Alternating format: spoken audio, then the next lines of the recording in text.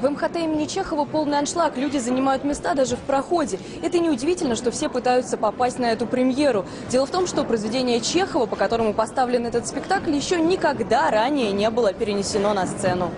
Дуэль – повесть, написанная задолго до того, как Чехов создал свои великие пьесы. Однако построена она по законам драматургии. Завязка, кульминация, развязка. Поэтому и инсценировать ее, делится режиссер Антон Яковлев, было несложно.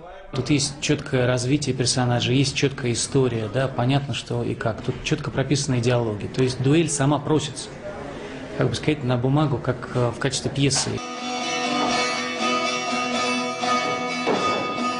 Молодой Иван Лаевский бежал на Кавказ от Петербурга, чтобы начать новую жизнь. Но работать, как оказалось, он не умеет и не хочет. Жизнь кажется ему скучной, люди неинтересными, а женщина, с которой живет, вызывает только раздражение. Сил изменить хоть что-то Лаевский не находит. Для брата, неудачника и лишнего человека, все спасение. Разговор.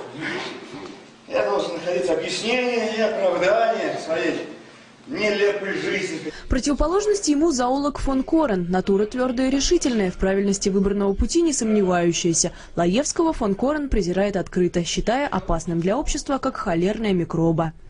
Он научил обывателей пить пиво.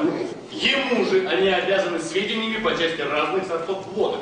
Когда ты присваиваешь себе право правды, это великий грех, на мой взгляд, гордыни. И в этом суть, мне кажется, этого произведения, когда вот эти две правды, два эгоизма, два, две таких э, антиверы, которые сталкиваются, и в итоге на самом деле ни та, ни другая ни к чему не ведут, потому что все они построены на песке.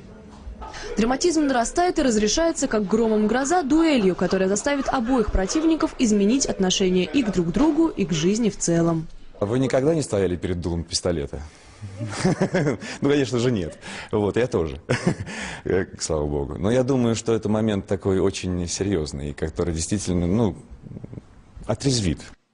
В этой повести, считает режиссер Чехов, может быть, верит в людей больше, чем когда-либо. Страдания, ошибки и скука жизни бросают их назад, но жажда правды и упрямая воля гонят вперед и вперед. И кто знает, быть может, доплывут до настоящей правды. Такими словами заканчивается произведение. Дарья Ганиева, Сергей Котенко, Вести.